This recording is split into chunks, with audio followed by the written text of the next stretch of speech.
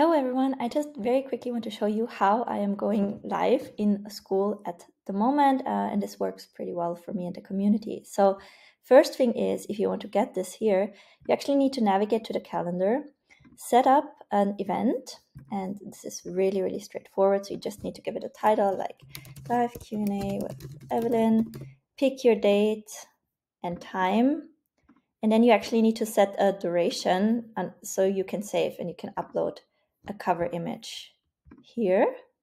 And I actually made you a few templates with a few different live coaching component ideas if you don't know what to give in your community. So live Q&A, group session, review session, guest expert, or hot seat calls. And so feel free to use them. I use this here and then you can save it and just add it. And then when you actually go live, Skool will automatically show you as live. So I've already been live. I just extended, I was a total of two hours. I just extended the time so you can see um, this live button here and how it looks in the communities. So that comes automatically when you've set up the event. But of course, you also need to have a place where you can send people to. And this is where I use StreamYard. And um, this is pretty straightforward you can create. You need to connect your YouTube channel, um, which is also pretty straightforward. So under destinations, you add a destination, YouTube channel, and just click your way through. And once you have that set up, you can say create live stream, select your YouTube channel, have the same name, live Q&A with Evelyn. And I like to also have it in the description here. And sometimes when I have resources for the members, I'll drop the link to that here as well.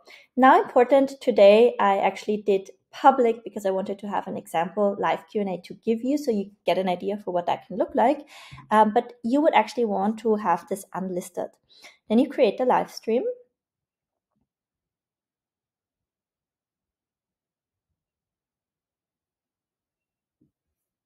And then you just need to make sure your camera setting and everything is fine. Enter the studio, add yourself, and then instead of going live right away, you would want to click here, say view on YouTube, click through to the platform, and then you have your link to the upcoming live. And then all you need to do is post in your group, please join me for the live Q&A, have the link here, and then um, pin it at the top, right? And then once you're ready in the studio, you just click on go live and then you're live. And you will see here in StreamYard the comments coming in. Um, people won't comment in Skool. I just quickly want to show you this here. So I'll also link for you um, the latest live that I did so you, you get an idea, right? So this was just right now. I was live. Oh, no, that's an old one. Here, this one I was live. And then you see um, the comments they they typically come in live in into StreamYard here. So yeah, that's basically how it works. It works really well for the members, and I just after then go in here and update